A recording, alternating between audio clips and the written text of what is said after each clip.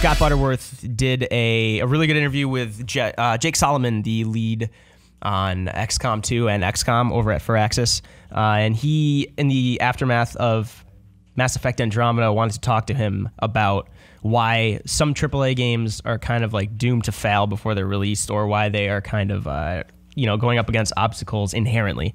Um, Jake Solomon, I believe, is at GDC was giving a speech about why failure is important in game development and how to learn from it. So Scott wanted to reach out about that and use, you know, Mass Effect as a time peg, and we all kind of wanted to talk about that. AAA development is kind of, uh, you know, an amorphous thing. It's hard to pin down, and uh, obviously, with publishers, with developers, there's a lot of money involved, and sometimes that is inherently at war with the creative pursuits of some developers. And we also kind of wanted to touch on uh, how fan input affects development. And again, if you want to go read this whole interview, Scott Butterworth did a great job talking to Jake Solomon, and uh, it's a great line of questioning, and uh, it's really insightful if you want to know more about a pretty prolific AAA uh, developer.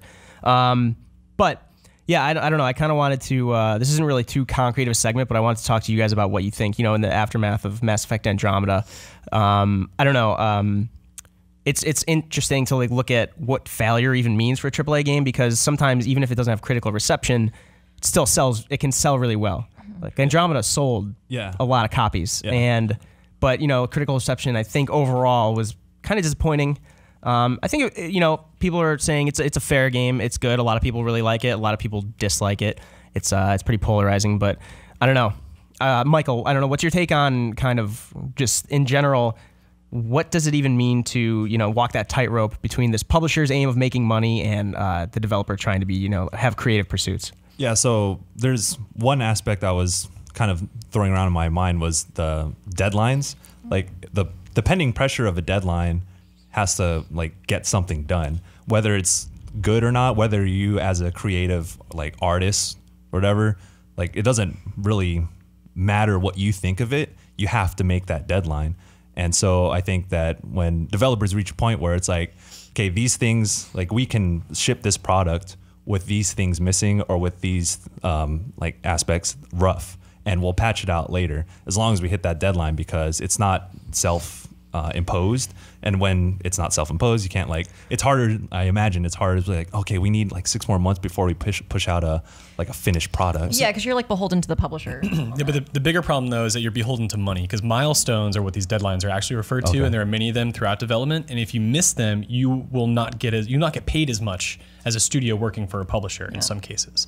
So you can actually miss your deadline but you just won't make money back. Oh, okay. So it's it's it's partially the pressure the publisher is putting on the developer, but also the developer saying, we need this money to continue doing what we're doing and pay everyone and do everything that we expected to do on time. It's a weird mix of the two.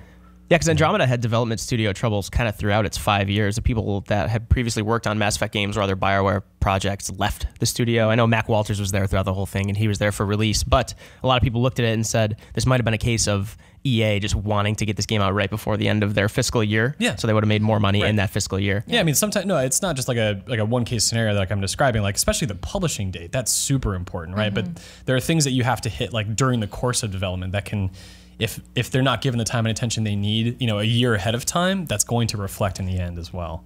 Yeah. And also another thing is that, you know, post release defining failure is that you know like same thing with No Man's Sky. No Man's Sky sold incredibly well, mm-hmm. but like what's the lasting impact of releasing that game? Is that you know um, by and large you leave a bad taste in everyone's mouth, and then so when like when Hello Games wants to make another game or when BioWare comes out with their next project, you know you have this aftermath. Even though you sold your game, your previous game incredibly well and made a lot of money, um, you know what's the what's the effect on your future projects? like have you failed at that point or are you more doomed to fail at that point because of this reputation mm-hmm. from your previous game so i mean that's kind of more nebulous i suppose but that's one thing to think about too as a consumer when i when a game comes out i'm like oh what have they done in the past what was their previous project like should i be invested in this yeah, I mean that's a big determinant of uh, how excited I am for a game. If I don't know the like, if it's a new IP, but I know this the developer, or I know somebody who worked on like not personally, I mean, but just I know their work. I'm like, oh, I really liked the way they wrote this character. I can't wait to see what they do with this game. Um, and the converse is true too, where if you get burnt by a developer, you just probably going to go into their next project a little more skeptical of it. Keiji Inafune comes to mind. yeah. Uh, one thing Jake Solomon had said, uh, Scott asked him if there's kind of a fear, uh, especially after Mass Effect Andromeda, because that was BioWare Montreal's first title as a collective studio. Of course, there were people there from earlier titles, but um, if there's a fear that your first failure could also be your last, and that might be what determines your, you know, like your career. Um, I had asked. I believe it was Richard Garriott who used to work at uh, Looking Glass way back in the day, and then he did stuff at uh, Origin, and now he's at Portalarium down in Austin. And he's also like an astronaut and shit now because of stuff he did back in the 90s. He, he essentially like established immersive sims with Warren Spector and Paul Neurath. But he was saying that, you know, there's that mantra that a developer is only as good as their last game, right? Like Keiji Inafune comes to mind too. Um, I don't know. I think the one, you know, we remember Recore, we remember Mighty Number Nine. I I think about that before I think about like the good Mega Man games now. Mm-hmm. Um, and then Scott had been asking Jake if that fear is there, and Jake had been saying, yeah, it's kind of throughout development. You're trying to learn from failure, but also trying to push away the fear that it might sink you as a developer. And uh, but then I want to look at more positive uh, games as well. Uh, Callie, you had mentioned Doom. Pete, you had mentioned Breath of the Wild for games that. Yeah. It seemed like you know the development studio. There's a lot of trust placed in them, and they kind of just prioritize maybe different things than I don't know, this might be reductive than EA might have with Mass Effect, for instance. Um, in terms of Breath of the Wild, how do you think that kind of is the antithesis to the negative side of AAA development? Um, well, I think that kind of boils down, you know, to a quote that uh, maybe Miyamoto has sort of, you know, instilled in a lot of people at Nintendo, and he definitely has a lot of sway there. Um, which it's along the lines of, you know, a delayed game is eventually good. A rush game is bad forever, right? So like they understand that if they publish something shitty, that will sort of be the legacy that is that you guys were just talking about just now like that will be the persistent legacy until they can fix that somehow right mm. but now like with a great success like this like they will be able to earn people's favor much more easily down the road so yeah delay this game a couple years to make sure that you can keep people on your good side mm-hmm. Yeah, Kelly, and then you mentioned Doom, right? Because Doom, Doom got delayed for a while, and then Doom came out. That was like one of the better Yeah. games last year. One of the best shooters in a while. Doom. Yeah, I mean, I Doom was uh, the original was one of the first games I ever played, and uh, the thing about the new one um, was that it felt like they respected the legacy of Doom, but um, didn't f- feel stuck on it. Like it didn't feel like stuck in the past either. Like it was uh, a newer take on something that I loved when I was younger, and I just I thought they did a fantastic job with it, and I thought it f- like.